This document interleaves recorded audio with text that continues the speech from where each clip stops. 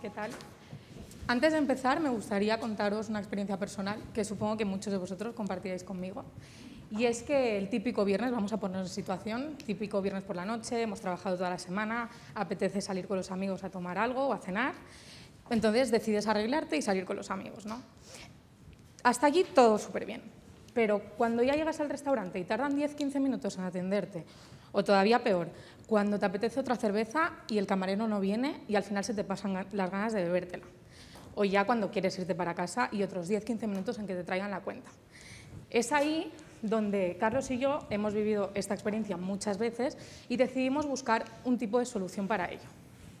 La primera pregunta que nos hicimos es si los restaurantes viven de los clientes, ¿por qué tardan tanto en atenderlos? Para el cliente comensal, que seríamos todos nosotros, puede suponer una mala experiencia, pero para el restaurante supone eh, un mal servicio de cara al público o incluso una pérdida de venta. Así que ahora sí, eh, buenas tardes, él es Carlos, yo soy Claudia, formamos el equipo de Coupay y os vamos a presentar la manera más fácil de pedir y pagar.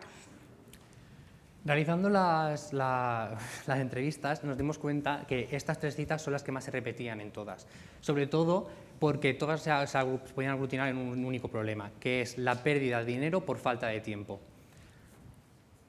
Aquí podéis ver eh, en porcentaje el índice de afectación que habían en los restaurantes en los cuales entrevistamos.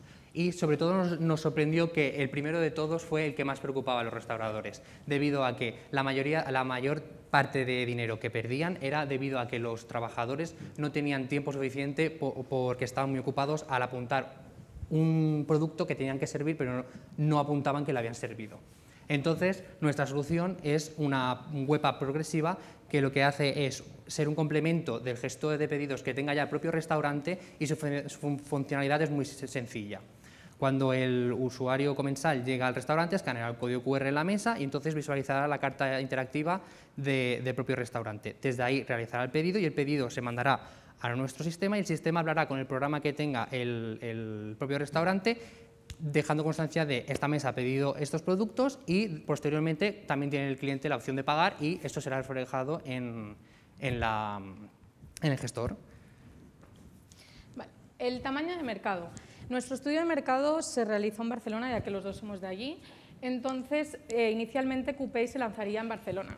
Hay un total de 9.359 restaurantes en la ciudad y contamos que en un 65% de estos, eh, sería afín a poder trabajar con nosotros. Y por otro lado, eh, hay un 1.63 millones de personas, de las cuales, según IDESCAT, un 68% dentro de un rango de 15 a 64 años usan smartphone. Es decir, que podrían usar Coupay sin ningún tipo de problema. Nuestro modelo de negocio se basaría en planes de suscripción. Daríamos tres planes, eh, el primero básico, estándar y premium, y el restaurante sería quien eligiera el que más le conveniese. Entonces, lo hemos hecho así debido a que hay muchos restaurantes que no quieren quitarse la figura del, camarero debido a que en muchos de ellos la figura del camarero es la imagen de la propia empresa. Entonces, por eso ofrecemos tres tipos de planes en los cuales se pueden adaptar a la, organización que tenga el propio restaurante. Aquí os presentamos la gran parte o los principales eh, competidores que tenemos. Nuestra diferenciación ante ellos es que nosotros no obligamos a descargar ningún tipo de aplicación. Es decir, el comensal cuando llega al restaurante escaneará el código QR y usará nuestros servicios a través del navegador.